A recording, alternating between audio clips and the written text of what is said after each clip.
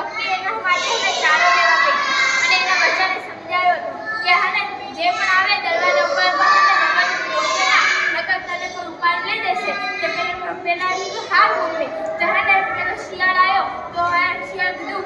બકરી મેં બકરી મેં ખોલો ખોલો ખોલો તો પેલો કે કે હું નહીં ખોલા જાય અહીંયાથી ભાગી જા તો હને પછી એમ કહે કે હાર ઉતરતા મમ્મી કરી લેજો તો એની